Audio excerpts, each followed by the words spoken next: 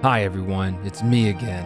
I bet you didn't know I'm also the greatest mountain biker in the entire universe. People ask me how I do it, and I tell them one thing Raycon. Because they sound just as good as any other top audio brand, I can listen to my favorite music while destroying mountains. It's important that these earbuds start at about half the price of any other premium earbud on the market because I spent all my money on this goddamn mountain bike.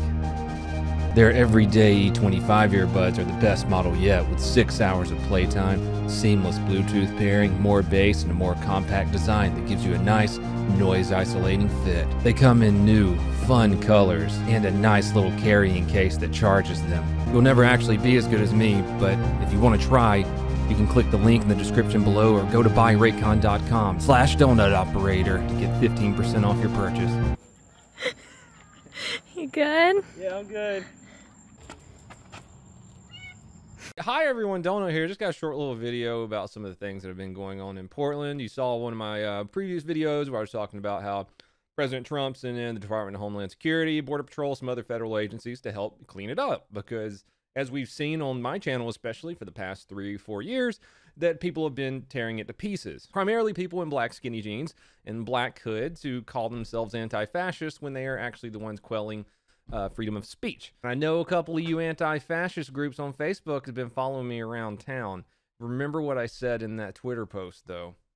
Anyways, on to what's happening. I came across a headline today. This headlines I came across said Portland mayor demands removal of camouflage clad agents detaining protesters. Why would you want to remove people who are hitting federal officers with hammers, spray painting things, and setting a bunch of stuff on fire? I came across another headline that said unidentified federal agents are detaining protesters in Portland. Protesters, plural. I have literally only seen one video of this happening. Use your words. What is going on? We need to know. Who are you?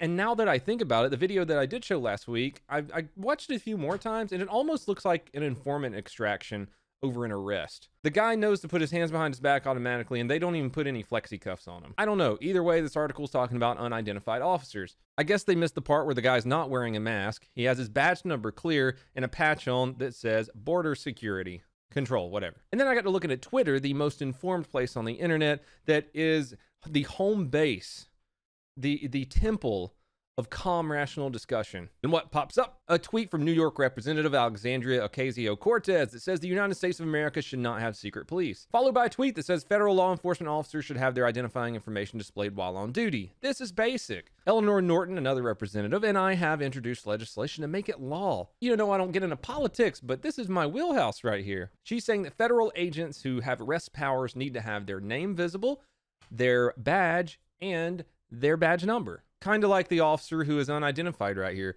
with his badge number and, and Border Patrol, and he doesn't have a mask on. When you start getting into last name stuff, especially for federal agents, I feel like that can be pretty dang dangerous. I think she also forgot one huge tactic when it comes to policing undercover work. Surely she put something in the bill that exempts undercover officers from having to do this. Surely.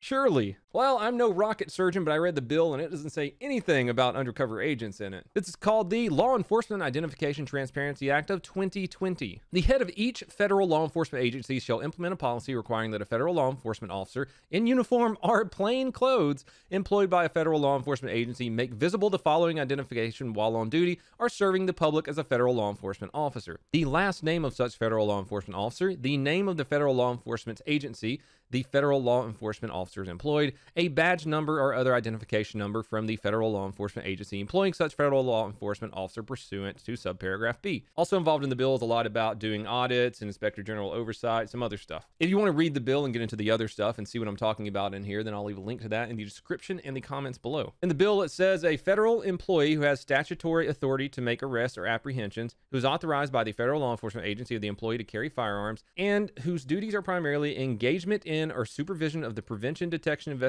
or prosecution of, or the incarceration of any person for any violation of law. It's about four and a half pages long, and not once in there does it mention anything about undercover work or any federal law enforcement officers being exempt from it. Would you like to know the agencies that have federal law enforcement officers? All of them.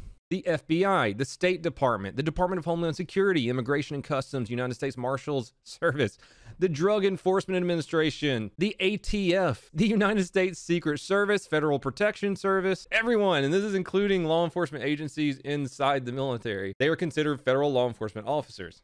So does that mean the day after this bill passes, the undercover officer has to walk into his terrorist cell and be like, "Hey, what's up, Terry? There's nothing to see here. Don't mind this badge and these patches and my last name. Don't don't mind that." I don't know what this would do for law enforcement. I just don't think she thought it out very well. Stop fighting. So yeah, another thing I'm seeing about the video that everyone's going crazy over right now. You know, the only video showing federal agents actually coming in and maybe arresting someone. People are like, they can't do that. They didn't read him his rights. I'm sorry that you watch too much Law and Order. A person doesn't have to be read their rights unless they're under interrogation. Unless a law enforcement officer wants to ask questions and the answers to those questions be admissible in court, then you don't have to read people their rights. Sorry to burst your bubble on that one, Twitter. Just wanted to throw that one out there and give you guys an update on what's going on in the wonderful, not completely shithole city of Portland. I'm going to be streaming over twitch.tv slash donut operator as soon as this video is released uh, Patreon, merch at Bunker Branding. Everyone, please have a fantastic day.